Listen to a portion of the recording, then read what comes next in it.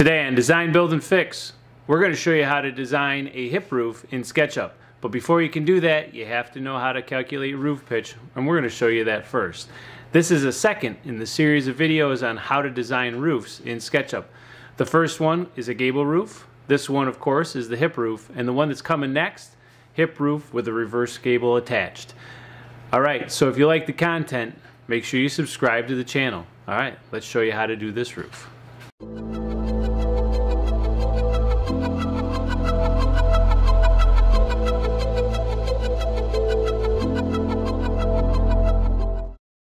Alright, so the first thing we have to do is understand what a roof pitch is. We have a rise, which is how far the roof goes up, and how far and the run, which is how far the roof actually goes over. And so what we're going to do is take this house as an example. The span of this house, or the distance across it, is 25 feet. We know that we're going to have a one foot overhang on each side. So that means the total span is 27 feet. That's 25 plus 1 plus 1 gives us 27. And for this house design, it could be different. It could be a 512, 612, 712, 1212, 412, whatever it is. Let's say, for example, it's a 512 pitch. That means that the for every 12 inches of run, it goes up, I'm sorry, 12 feet of run, it goes up 5 feet. It could be 12 inches or 5 inches. Either way, it's the same.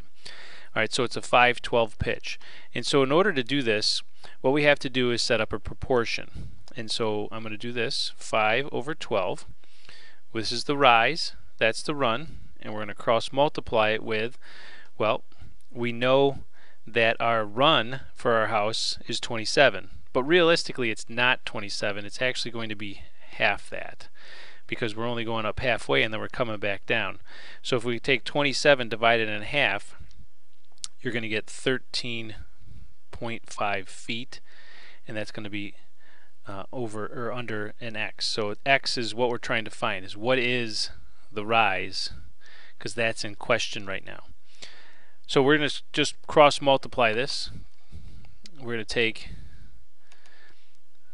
5 times 13.5 and then 12 times x. So it's going to be 12x is equal to, and we go 5 times 13.5 gives us 67.5.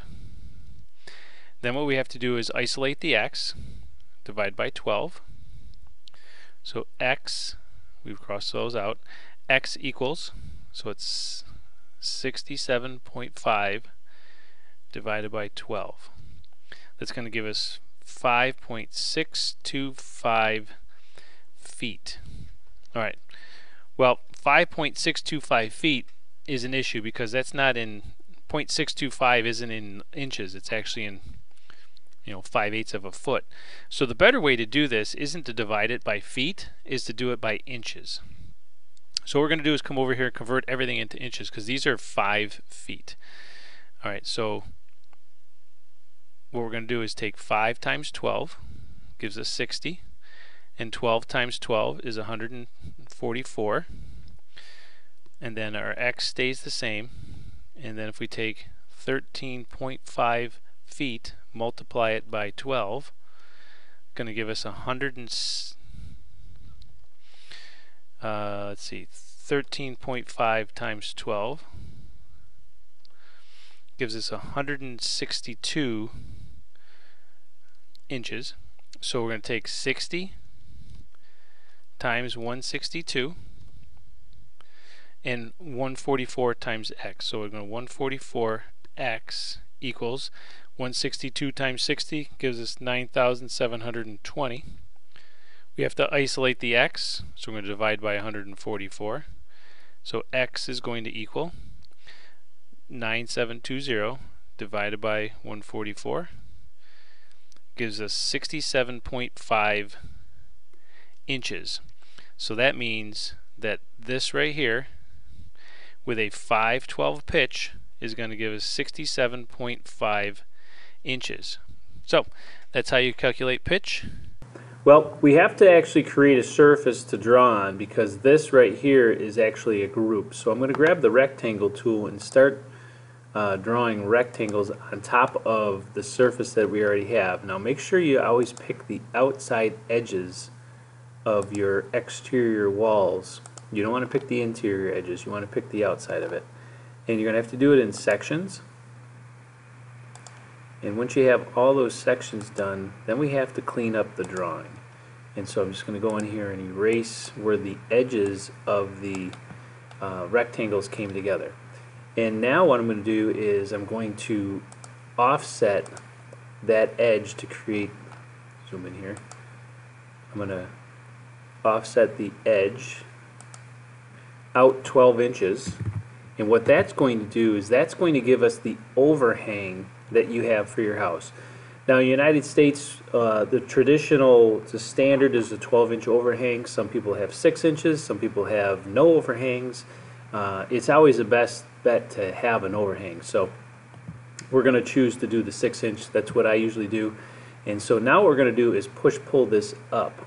Now we want to push pull this up six inches because six inches is the size of the fascia board that you're going to have on a hip roof or a gable roof. Uh, either way, it's going to be a six inch. So then I'm going to take this and drag this up to the same same height and make this one solid surface. So I'm just going to go in here and start erasing uh, these surfaces.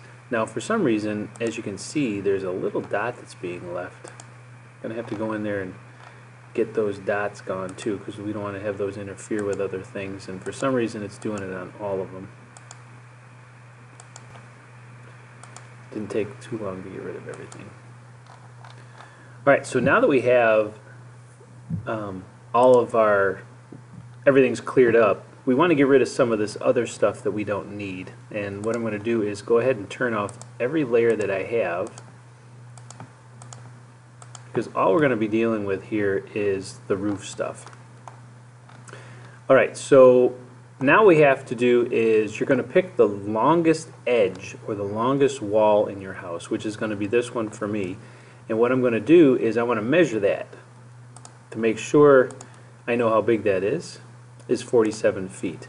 Alright, so what we have to do is we're going to use the zoom, or not the zoom, but we're going to use the follow me tool to follow this path and put a profile on, which is going to be our, our rise and run of our roof slope. So what I want to do is find the midpoint of this and put a guide on there.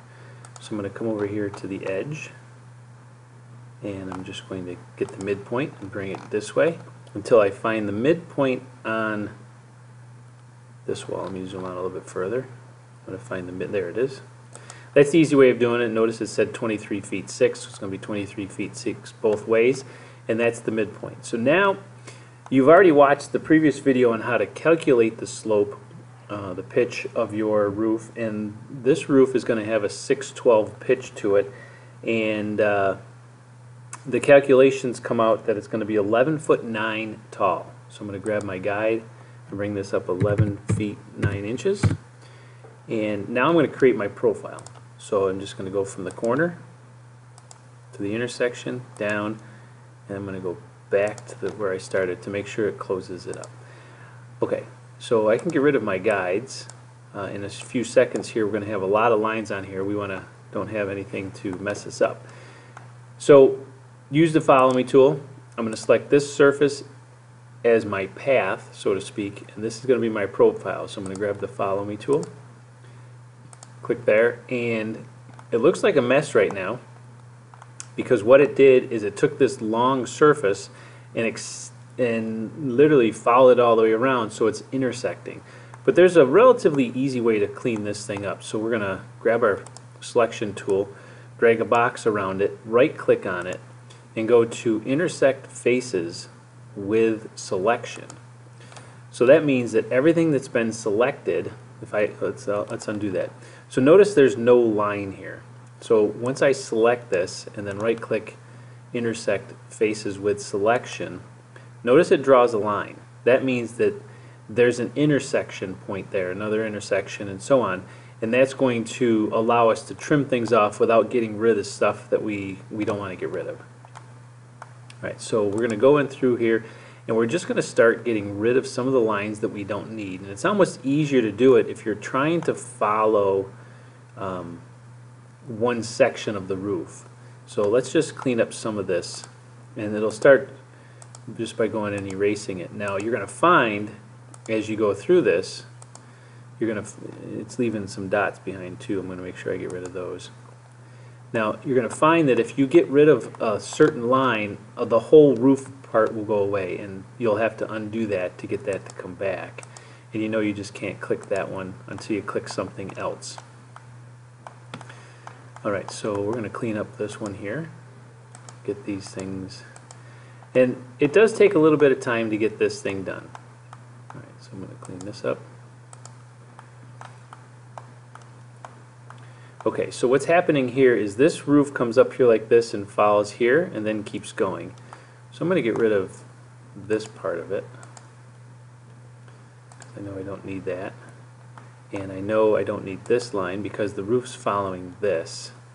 And I'm just going to, oh, okay, so can't get rid of that one just yet. And so I'm going to get rid of, let's try this one. Okay, so that helps clean that up a little bit. So now maybe I can get rid of I know that I don't need this part here. Okay, and we're just going to keep going in and start getting rid of stuff here on the top down. Some of these aren't going to be needed. Let's see, that oh, that got rid of that section there, so I'm going to undo that. And so I need this line and this line, so I'm not going to need this one, because that's going to expose other stuff that I, I don't need.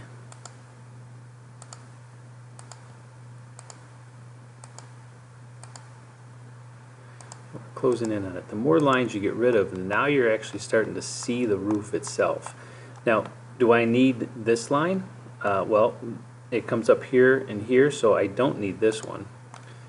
And I'm probably not going to need this one either, or this one. Okay, so I do need that. Well, no I don't, because that is part of the other roof, so I'm going to get rid of here. And I can just keep going. And the more you get rid of, the easier it is to see what you're going to need and not need.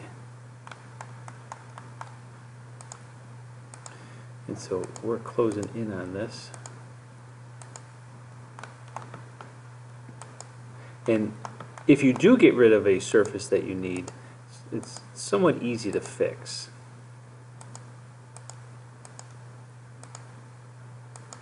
Okay, only a couple more clicks away. Alright, so we don't need this line, nor this one and we don't need these two. Alright, so now you can actually see the roof in itself, that everything is angled in, and that's what a hip roof is. Alright, so now what we want to do is to make this into a group. Right click, make group, and now that's in a group, and then what I'm going to come over here is add a layer, which is going to be the uh, roof layer, and say OK. And I'm, gonna, I'm actually going to put that in my roof layer. Okay, and so then I can go ahead and turn everything back on, and we can actually see what this looks like, and you can decide whether you like a hip roof or not. As you can see, we have a couple dots in here, so let's go into that, right click, edit that group, and let's go in here and grab the eraser tool and clean some of these things up. So that looks like that's going to be pretty good. Alright, so that's how you put a hip roof on in SketchUp. Alright, thanks for watching another video on how to draw a house in the roof in SketchUp. Next video coming out is going to show you how to do a hip roof with a reverse gable. So make sure you stay tuned for that one. If you like the content, make sure you subscribe to the channel. Alright, we'll see you on the next one.